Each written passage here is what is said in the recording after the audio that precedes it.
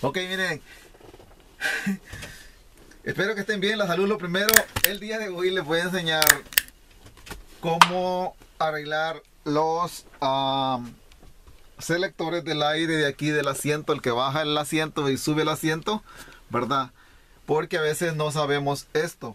Cómo cambiarlos, cómo arreglarlos. A veces tienen fuga.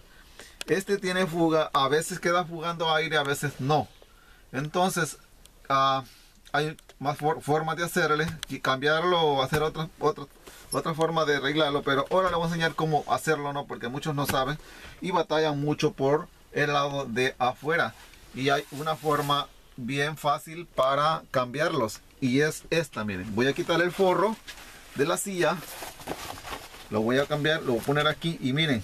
Acá en la parte del frente le tiene acá el- el- la pistolita esta o la manivela para, para hacer el asiento para el frente. Tiene también otra agarraderita aquí. No sé si la estaba apreciando. Bueno, pero entonces vean aquí por el lado de arriba.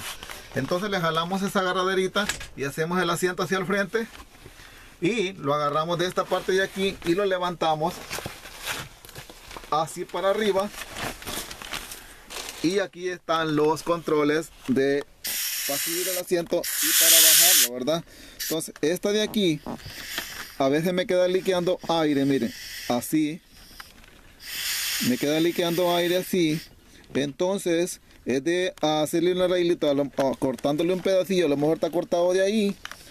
O cambiando la cambiando la, la pieza esta, ¿verdad? Y, y está fácil para cambiarla. Miren, solo le le jalan de la parte de allá.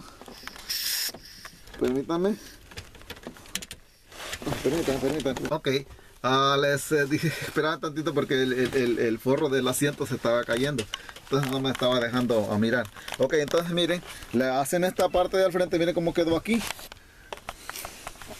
Entonces miren, solo lo jalan y, lo, hacen para, para el frente y ahí está. Y cuando lo pongan, lo hacen para abajo y lo puchan para, para atrás y ahí quedó el asiento. Lo jalan para adelante y lo hacen para, el frente y ahí está libre esto ya no trabajan por fuera porque a veces no sabemos eso. ¿Verdad? Esto es para los que no saben. Para los que saben, pues saben más que yo. ¿Verdad? Entonces miren. Y fácil sale la parte esta para cambiarla, miren. Aquí. Entonces no me está dejando porque necesito quitar esta otra de aquí. ¿Verdad? Las dos estas. Miren, ahí miren. Hoy vean por este lado. ¿Verdad? Entonces miren. Miren cómo están ahí. Porque a veces se ponen a sacarlos por, por afuera. Y les cuesta mucho porque no saben que por dentro se quita, se mueve el asiento, como les mostré. ¿Verdad? Por dentro se mueve el asiento. Entonces ya, ya se quita más fácil. Así, ¿verdad? Miren, pero entonces como les estaba diciendo, a veces queda liqueando aire, a veces no. Miren como que, como que se ve una cortadita ahí. Entonces lo que voy a hacer es cortar este pedacito de aquí y ponerla otra vez ahí. Yo creo que, que va, va a quedar bien. Porque también hace poco las puse estas. Y, a veces queda tirando. Son, cosas que a veces quedan liqueando un poquito. Pero, pero ahí está. Esa es la, forma que quería compartirles. Cómo cambiarlas fácilmente. Entonces para- para ponerlas, miren para atrás.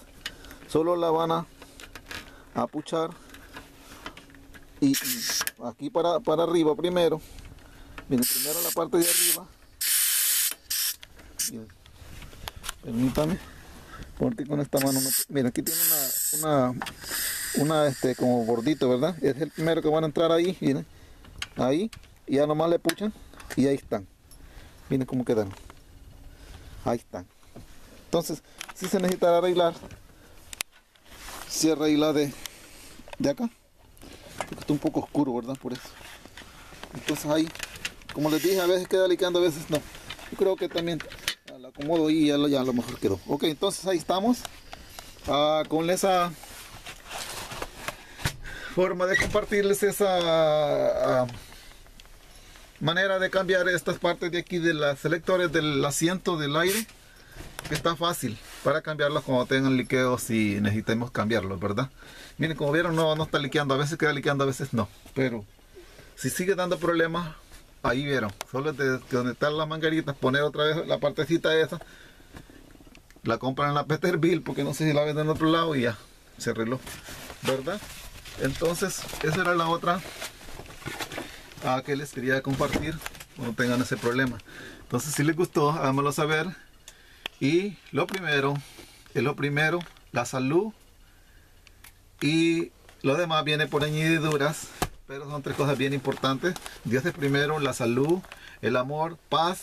Y si tienes todo eso, todo lo que tengas es una bendición porque lo vas a disfrutar de una buena manera y feliz. Que Dios los bendiga y los miramos en el próximo.